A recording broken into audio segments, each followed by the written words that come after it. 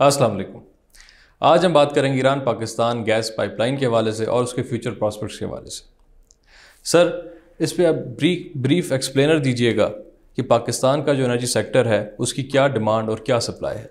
अच्छा देखिए, हम सारी गैस की बात करते हैं नेशनल गैस की, क्योंकि ओवरऑल तो फिर ब्रीफ नहीं रहेगा।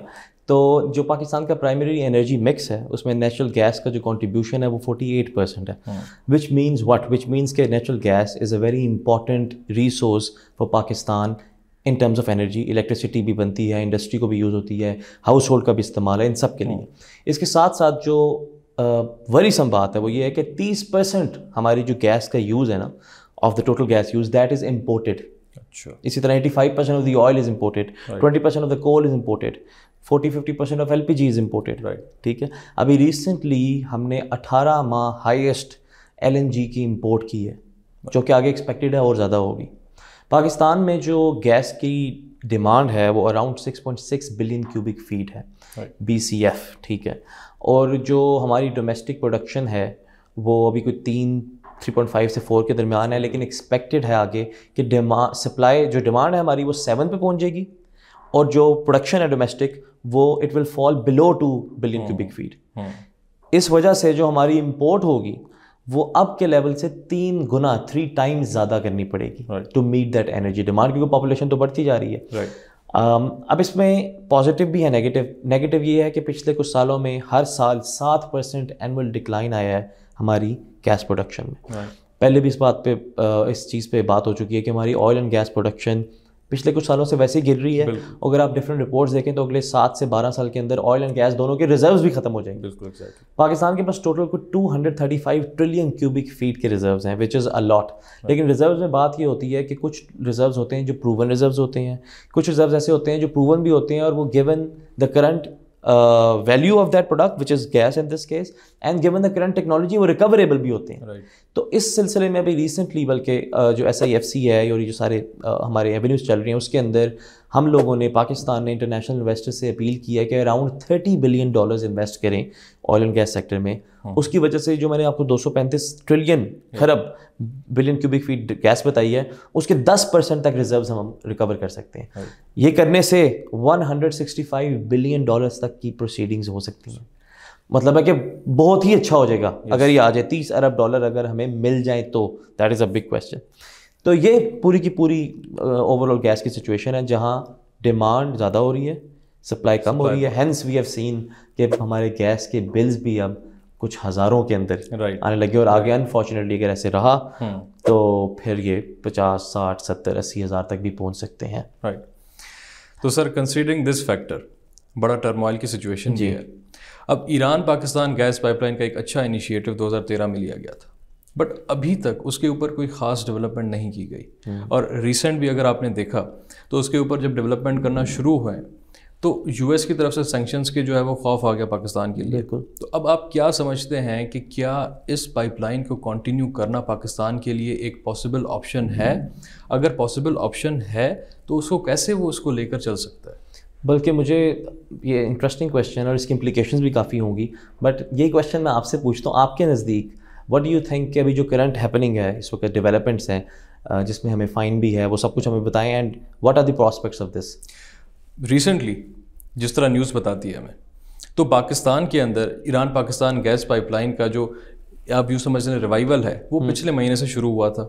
हमारी जो इंटर्म गवर्नमेंट थी उसने लास्ट डे पे जाते हुए 80 किलोमीटर्स के लिए अप्रूवल भी दे दिया था। क्योंकि पाकिस्तान के अंदर से वो इनिशिएट होना ज़रूरी है बिकॉज़ ईरान ने अपना जो साइड है वो कंप्लीट कर लिया। अब इसके बाद Pakistan is eyeing to start अपना जो है वो Iran Pakistan gas pipeline but वहाँ से यूएस के सेंक्शंस का इशू आ रहा है। यूनाइटेड स्टेट्स का जो फॉरेन ऑफ़िस है या जो उसका एग्जेक्टिव है, वो ये कहना चाह रहा है कि अगर पाकिस्तान ने इस काम को स्टार्ट किया तो पाकिस्तान के ऊपर भारी सेंक्शंस लगेंगे।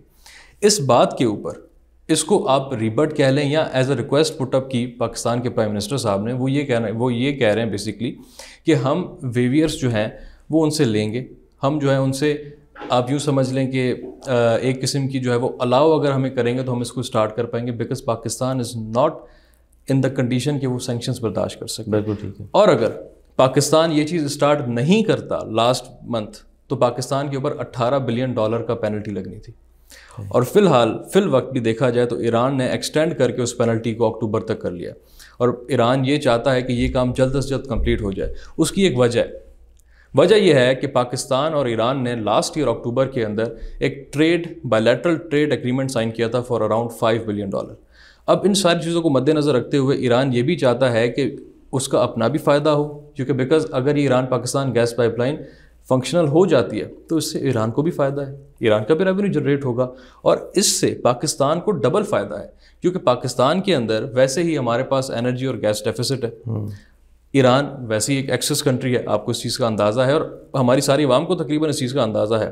तो लिहाजा ये चीज़ें बहुत ज़रूरी हैं ईरान के लिए और पाकिस्तान के लिए।